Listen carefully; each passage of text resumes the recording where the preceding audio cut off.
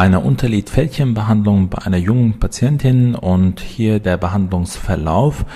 Man sieht, sie hat keine Schmerzen, sie hat nicht mal ein Zucken mit den Augen und so leicht kann die Behandlung stattfinden, wenn man natürlich das daran geübt ist und wenn es ein Facharzt für plastische ästhetische Chirurgie ist, der auch die notwendige Erfahrung hier in diesem Bereich hat. Das ist ein sehr, sehr sensibler Bereich. Das wird jeder, denke ich, nachvollziehen können. Und gerade bei so einem Eingriff sollte man immer zu einem Facharzt für plastische Chirurgie